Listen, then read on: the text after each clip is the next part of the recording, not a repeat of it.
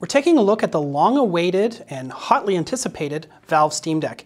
This is a handheld gaming console that has basically taken over the internet and it has all kinds of issues with supply chains and things like that. But I'm gonna talk about why I think you might wanna consider this if you're even remotely into emulation, retro gaming, and just a really good, solid gaming PC that you can take with you. Let's get into it.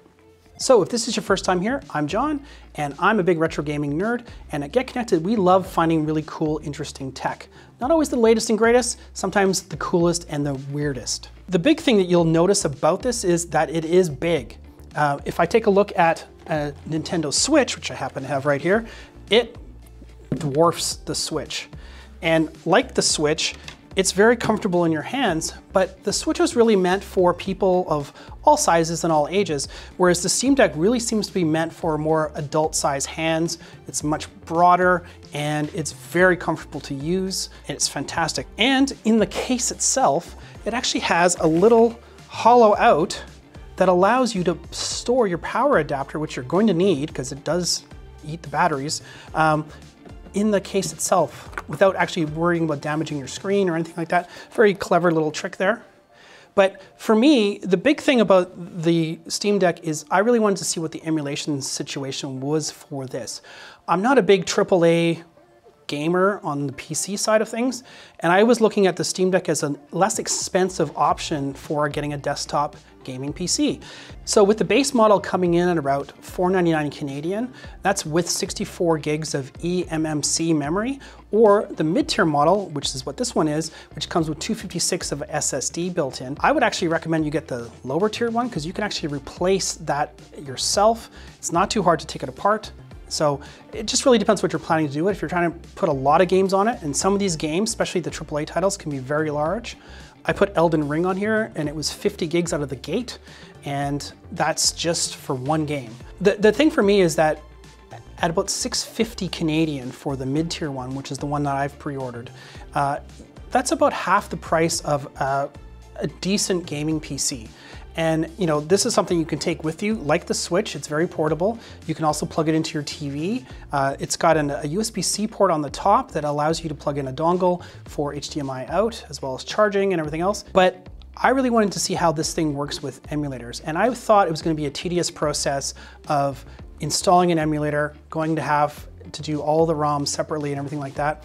Well, fortunately, and again, the more people that get this device, the better this is going to get because people are voraciously uh, installing things and trying to find better ways of doing it. There's something called EmuDeck, which emudeck.com, you go there, you download a little file that you run on the desktop mode of this, and it actually does all the work for you. It will go in and install all the emulators. It will create the subfolders you need for everything. All you have to do is supply your own ROMs, which Unfortunately, we can't help you with, but Google is your friend, and the Internet Archive has tons of games on there that you can download for free.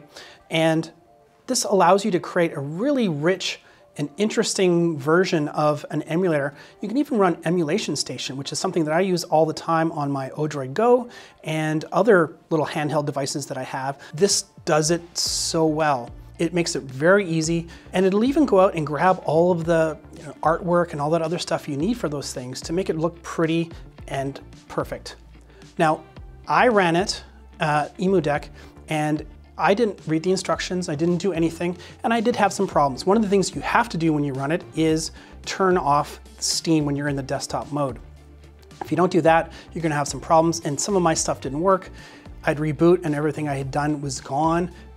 Fortunately, there's been an update to EmuDeck and also I was able to turn off Steam to do the install and everything is just great now.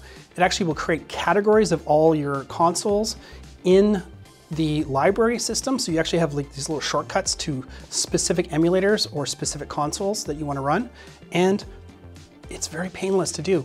The only thing you do have to do that's a little bit tedious is go in and copy all your ROMs. Unfortunately, the SD card slot that you would use to host your ROMs is in a Linux format. So you can't just populate it on your PC or your Mac, pop it in there and you're good to go. You actually have to plug in something to the Steam Deck and then copy it using the file manager on the Steam Deck to the appropriate folder that EmuDeck has set up for you. It's not that big of a deal. You can copy and paste very easily. I found actually it wasn't too bad to use the Steam Deck's controls to do that with the mouse and keyboard kind of support with the touchpad and the buttons. But the nice thing about this particular process, you only have to do it once. Once you've done it, it's done for good, and then you can just enjoy the console. Now let's talk about the Steam Deck itself. Back in the day, I used to build my own PCs and I loved it. And then I bought a Mac and I stopped building my own PC. And I know a lot of people still love doing that and that's their jam. It's not my jam, but we've never had a console like the Steam Deck that allows you to customize everything about it. And what I mean by that is Steam Deck has basically made all the parts available for replacing damaged parts, broken parts, and presumably third parties will at some point create their own so that you can actually swap out almost every part of the Steam Deck itself.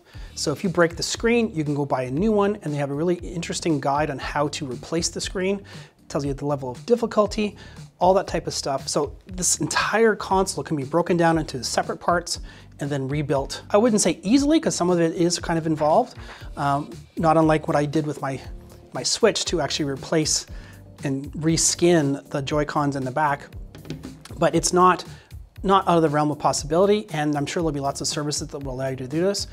What's exciting is that this basically turns this into a very modular console, not unlike a desktop PC where you can pick and choose the parts you want.